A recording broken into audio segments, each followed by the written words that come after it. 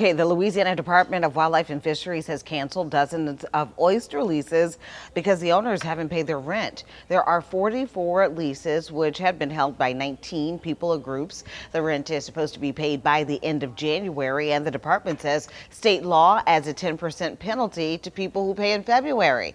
The department says it had to revoke leases for people who did not pay before March 1st.